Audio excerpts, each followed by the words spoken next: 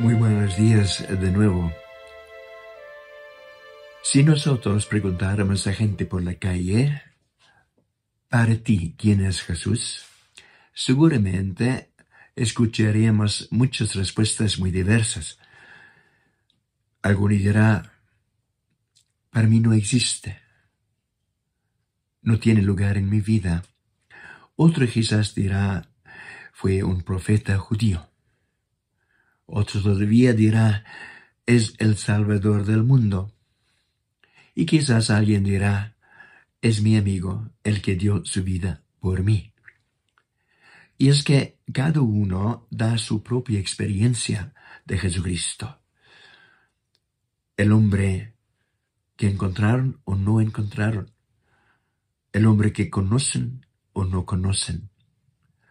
Y hoy día llega la pregunta a nosotros, y es Jesús mismo el que lo pone. En el Evangelio nos recuerdan un momento muy importante. Los apóstoles han estado mucho tiempo con Jesús y ahora Él pregunta, ¿quién soy yo?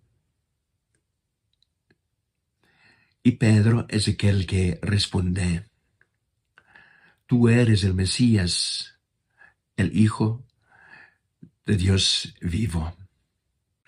Este es un nuevo inicio para los apóstoles. Un fuego se ha encendido en sus corazones, una luz en sus mentes. Su vida ha cobrado un sentido mucho más profundo y mucho más bello. Y ahora la pregunta llega a nosotros.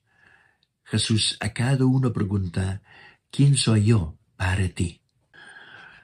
Quizás algunos podremos dar una respuesta tan convincente como Pedro, pero quizás no somos tan seguros algunos. Nuestra fe puede ser débil. Estamos batallando.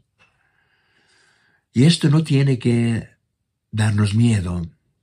Jesús está aquí especialmente por los que están batallando. Permitamos que Él enciende el fuego de su amistad en nuestros corazones. Entonces nosotros como los apóstoles entraremos también en terreno nuevo.